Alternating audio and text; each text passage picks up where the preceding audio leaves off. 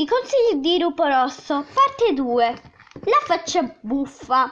Capita che chi, che chi ha le orecchie a sventola, o il naso grosso, o le sopracciglia cespugliose, oppure la pelle così piena di lentiggini che sembra la pelliccia del leopardo, si senta come se fosse costretta ad andare in giro mascherato da carnevale e si vergogna.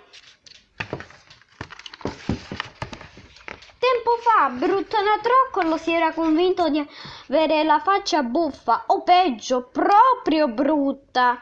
Si era concentrato su quelli che riteneva gravissimi difetti e li incolpava di tutti i suoi guai. Era diventato scontroso, si offendeva facilmente, trattava male gli amici e quando si è ritrovato da solo ha dato colpa alla sua faccia invece che al suo caratteraccio. Alla fine Bruttonatroccolo, grazie ai pazienti consigli di Lupo Rosso, ha capito che è importante avere qualcosa di caratteristico nel nostro viso che ci distingua dagli altri. Qualcosa che ci faccia ricordare, che ci renda originali, interessanti, anche se qualcuno è considerato un difetto. Pensa che noia se fossimo tutti uguali come i manichini dei negozi d'abbigliamento.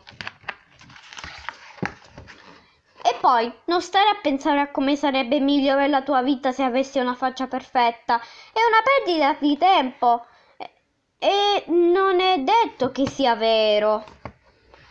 E non esagerare nel cercare di nascondere i tuoi difetti, o meglio, quelli che ti sembrano tali. Rischi di mettere ancora rischi di metterli ancora più in evidenza. Quando ti guardi allo specchio, Concentrati sui pregi e non sui difetti. Devi essere tu per primo a trovare simpatica la tua faccia. Fine seconda parte.